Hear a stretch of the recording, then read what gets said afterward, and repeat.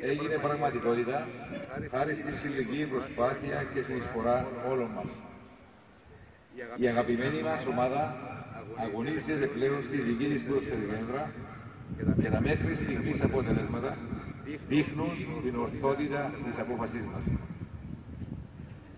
Σε μια περίοδο δύσκολη για την Κύπρο μας, μια περίοδο βαθιάς οικονομικής κρίσης, τολμήσαμε να επενδύσουμε στο μέλλον, να δώσουμε απασχόληση και προοπτική στην οικονομία, αναβαθμίζοντας το αθλητικό κέντρο Τζίνο και δίνοντας περισσότερες προοπτικές στον αθλητισμό μας για την πόλη μας και την επαρχία Λάρναγας.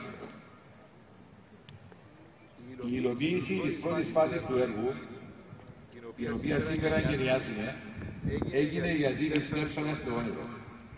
Πιστέψαμε πρώτα στις δικές μας δυνάμεις και δυνατότητες και προχωρήσαμε.